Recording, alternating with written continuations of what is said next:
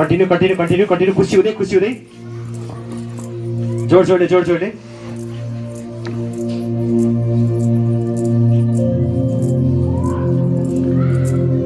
Okay stop now रोकिनुहोस् रोकिँदै गर्दा आँखा बन्द हात तल आँखा बन्द दुवै हातलाई घोडा माथि राख्नुहोस् आफ्नो छातीलाई शरीरलाई सिधा राख्नुहोस् रिटको हड्डीलाई सिधा राख्नुहोस् एकदम सकारात्मक हुनुहोस् मतलब हिजोको थियो नि हाम्रो सूत्र आनन्दित शान्त सकारात्मक खुसी त्यसलाई मनमनै दोहोऱ्याउनुहोस् आनन्दित शान्त सकारात्मक खुसी यो चारैवटा कुरालाई एकपटक महसुस गर्नुहोस् आनन्दित शान्त सकारात्मक खुसी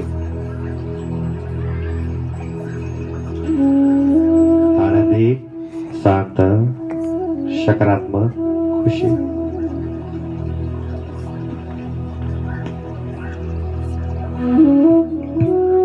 तपाईँको जीवनमा नि धेरै रमाइला पलहरू छ नि मिठा पलहरू।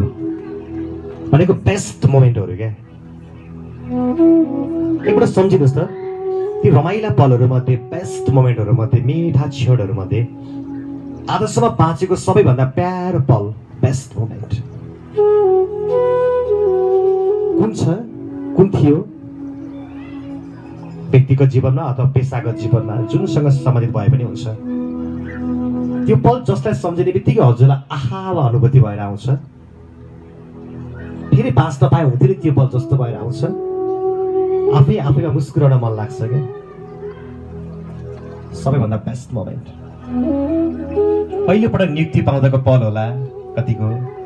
पहिलो पटक पटक स्यालेरी थाप्दै गर्दाको पल होला कतिको होइन? पहिलो पटक कक्षा कोठामा जाँदै गर्दाको पल।